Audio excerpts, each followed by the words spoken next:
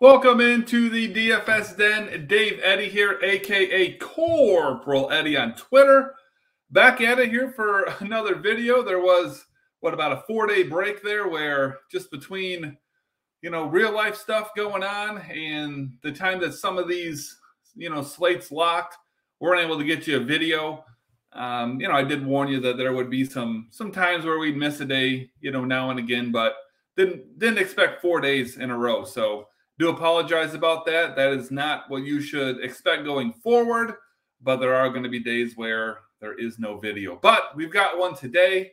We've got a pretty nice slate as well. Um, I'm not a huge fan of the early slates, but on the weekend they're not so bad. It's during the week is when they really suck. But we got a 10 gamer here, and let's go ahead and hop into it. There are a lot of pitchers that I like today. So, I mean, gosh, if I look, uh, one, two, three, four, five, six, seven, eight, nine, ten, 11 guys I could argue for. Um, probably about five of them make themselves into my actual pool. But the two guys that, you know, I'm looking at the most are going to be, you know, in the in the upper echelon of pricing, but not at the top. So, I'm looking at Dylan Cease going up against Baltimore on the road here today. And then I'm looking at Zac Gallen. Um, I'm sorry, Dylan Cease is at home. Um, Zac Gallen is on the road against Miami. I like both of these matchups quite a bit. Two guys who can definitely get to some strikeouts. And especially in Gallen's case, a really strong matchup here against the Marlins. Um, you know, other guys that I'm looking at but don't have as much interest in that I think I'll be playing today. Uh, Miles Mikolas will save you some cash. Logan Webb save you a little bit. Um, Alek Manoah save you a little bit as well.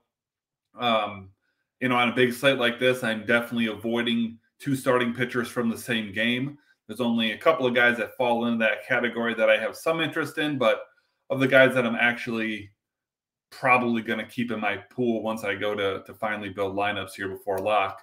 I'm not too worried about that at this point. Let's swing on over to hitters, no pun intended. Cleveland's looking like my top stack on the road in Washington, but going up against Patrick Corbin. That is a fantastic matchup. I'm going to lean into Amed Rosario. He's going to be batting right at the top of that lineup there. Usually slides in the two hole. It's a nice righty versus lefty matchup, so I like that. And that's a good guy to go ahead and build around. He's also had at least nine points in four straight games. So definitely a guy who has had pretty decent form here recently. And the other guy I'm interested in here, is, as far as you know, to highlight is Ozzie Albies, uh, switch hitter. So every matchup for him is good. But he's going up against Zack Greinke in Kansas City coming off a three hit, four RBI effort. So he's riding a little bit, you know, of, of, of a hot streak, if you will. I mean, you know, he didn't do much in two games prior to that, but hit a home run um, before that. So two of the last four games got at least 16 points, but I do always prefer a guy who, you know, has got pretty solid form. And, you know, with Albies' last game, I feel like he's a guy who you know, is going to be in a lineup that I like. Um, he's going to be batting, you know, probably right in the middle of that order, um, five or six, maybe four, but somewhere in that neighborhood. Both of these guys are not too expensive. They're they're not cheap, but they're right in the middle, um, and they're guys you can easily build around for your stacks. So that's where I'm looking today. Please go ahead and drop a like on this video if you're happy that we're back with another one so we can win some more money together. And then you need to do yourself the favor pop on over here, subscribe to the channel, turn on notifications so you get an alert when a new video comes out. We usually don't have a huge window where this information is actionable, so those alerts can really help you out. I appreciate you tuning in, and we'll see you for the next one.